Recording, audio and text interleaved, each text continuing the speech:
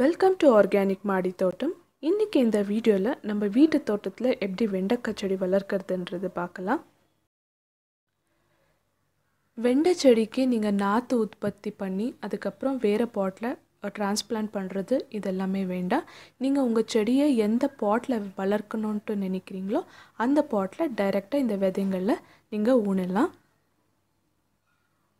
நான் இப்போ இந்த வெண்டை விதைங்க இந்த பாட்டில் நான் இப்போது டைரெக்டாக மண்ணில் வைக்க போகிறேன் இல்லைன்னாக்கா நீங்கள் வந்துட்டு இந்த விதைங்களை ஒரு நாள் தண்ணியில் ஊற வச்சுட்டு அதுக்கப்புறம் நெக்ஸ்ட் டே வந்துட்டு இது உங்கள் மண்ணில் வைக்கலாம். தண்ணியில் ஊற வைக்கிறதுனால இந்த அட்வான்டேஜ் என்னன்னாக்கா சீட் ஜெர்மினேஷன் வந்துட்டு ஃபாஸ்ட்டாக இருக்கும். சீட் ஜெர்மினேஷன்னாக்கா இந்த விதை முளைப்பு வந்துட்டு ஃபாஸ்ட்டாக இருக்கும். அது மட்டும் இல்லாமல் இந்த இருக்கிற விதைங்களில் நல்ல விதைங்க கெட்ட விதைங்களை வந்துட்டு நம்ம ஈஸியாக செப்பரேட் பண்ணிடலாம். ஸோ பாருங்கள் இங்கே மேலே மிதங்குற விதைங்கள்லாம் வந்துட்டு கெட்ட விதைங்க. ஸோ இதெல்லாம் வந்துட்டு நீங்கள் ஈஸியாக செப்பரேட் பண்ணிவிட்டு கீழே இருக்கிற விதைங்களை நீங்கள் டைரெக்டாக மண்ணில் வைக்கலாம். நான் இங்கே வந்துட்டு ஒரு eighteen inch width twelve inch ஹைட்டான grow bag use பண்ணுறேன் இதில் வந்துட்டு ஒரு நாலு செடியை வைக்க போகிறேன் மண் கலவை வந்துட்டு நான் இதில் கோகோபிட் செம்மண் கம்போஸ்ட் அப்புறம் மாட்டு எரு இதெல்லாமே நல்லா மிக்ஸ் பண்ணிவிட்டு வச்சுருக்கேன். மாடி தோட்டத்துக்கு மண்கலவை எப்படி ப்ரிப்பேர் பண்ணுறதுன்றது ஒரு செப்ரேட் வீடியோ போட்டிருக்கேன். பார்க்காதவங்க அதை பாருங்கள் அந்த வீடியோட லிங்க்கு நான் என்னோடய டிஸ்கிரிப்ஷன் பாக்ஸில் கொடுக்குறேன். இந்த மாதிரி ஒவ்வொரு குழியில் ஒவ்வொரு விதைங்களை போட்டு மூடிடுங்க. ஒரு ஏழு நாளில் இது முளைச்சி வரும். வெண்டை செடி வளர்கிறதுக்கு தேவையான வெதர் கண்டிஷன்னு பார்த்தாக்கா கொஞ்சம் டெம்ப்ரேச்சர் வந்துட்டு வார்மாக இருக்கும் போது செடி வளர்ச்சி ரொம்ப நல்லாயிருக்கும் கொஞ்சம் குளிர் காலத்தில் வந்துட்டு வெண்டை வெண்டைக்காய் செடி வந்துட்டு அவ்வளோ நல்லா வளராது. ஸோ மிதமான வெப்பத்தில் வெண்டை செடி ரொம்ப நல்லா வளரும். இது இருபத்தஞ்சு நாள் ஆன வெண்டை செடி இது.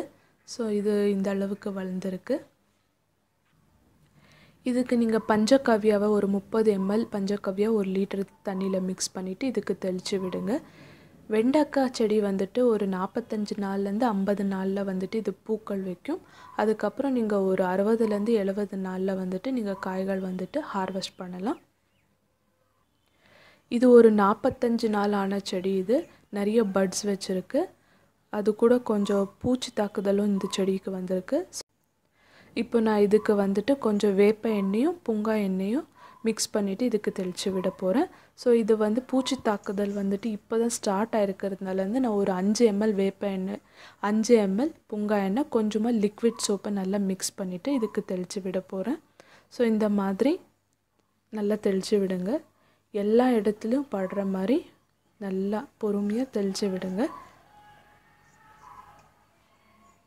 இந்த மாதிரி தெளித்து விட்டு ஒரு ரெண்டு நாள் கழித்து மறுபடியும் உங்கள் செடிங்களை செக் பண்ணுங்கள் ஏதாவது பூச்சி தாக்குதல் அதிகமாக இருந்தாக்கா மறுபடியும் இதே ப்ராசஸை கண்டினியூ பண்ணுங்கள்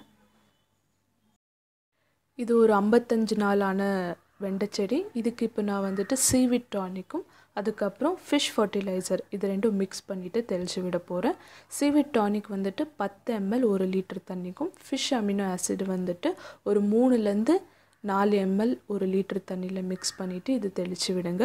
உங்கள் கிட்ட சீவிட் டானிக் ஃபிஷ் ஃபர்டிலைசர் இல்லைனாக்கா பஞ்சகவ்யாவை மறுபடியும் இதுக்கு தெளித்து விடலாம் நீங்கள் நிறைய வியூவர்ஸ் கேட்குறாங்க இந்த சூடோமோனாஸ் ஸ்ட்ரைக்கோடோமா ஃபாஸ்ஃபோபாக்டீரியா அசோஸ்ஃபெரிலியம் இதெல்லாமே போடாமல் நம்ம செடி வளர்க்கலாமான்ட்டு கேட்குறாங்க கண்டிப்பாக இதெல்லாம் போடாமல் கூட நம்ம செடி வள வளர்க்கலாம். ஸோ இது நாளும் ஆட் பண்ணுறதுனாலேருந்து நம்மளுக்கு ஒரு ஆடட் பெனிஃபிட்ஸ் கிடைக்குது. ஸோ அதனாலேருந்து இது நம்ம ஆட் பண்ணுறோம் ஒருவேளை உங்களுக்கு கிடைக்கலனாக்கா உங்கக்கிட்ட இல்லைனாக்கா நீங்கள் நார்மலாக செம்மண் அப்புறம் கம்போஸ்ட் மாட்டு எரு இதெல்லாமே சேர்த்து கூட நீங்கள் வளர்க்கலாம் நீங்கள் கோகோ பீட் யூஸ் பண்ணுறதா இருந்தால் இந்த மூணோட இது இந்த கோகோ பீட் கூட நீங்கள் யூஸ் பண்ணி வளர்க்கலாம். வெண்டை செடியில் வந்துட்டு இந்த மாதிரி மஞ்சள் நிறத்தில் ஒரு அழகான பூ வைக்கும்.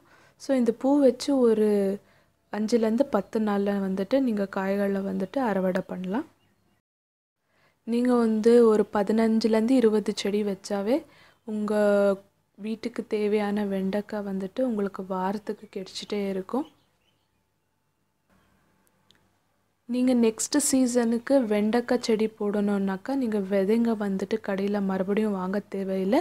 இந்த செடிங்கள்லே சில காய்கள் வந்துட்டு நீங்கள் அப்படியே விட்டுட்டாக்கா அது நல்லா காய்ந்த பிறகு அந்த அந்த அந்த காயிலேருந்து நீங்கள் விதைங்களை வந்துட்டு கலெக்ட் பண்ணி இதை ஸ்டோர் பண்ணி நெக்ஸ்ட்டு சீசனுக்கு இதே விதைங்களை நீங்கள் போட்டு நீங்கள் செடி வளர்க்கலாம். இந்த வீடியோ உங்களுக்கு பிடிச்சிருந்தால் லைக் பண்ணுங்கள் ஷேர் பண்ணுங்கள் சப்ஸ்கிரைப் பண்ணுங்கள் தேங்க்யூ ஸோ மச்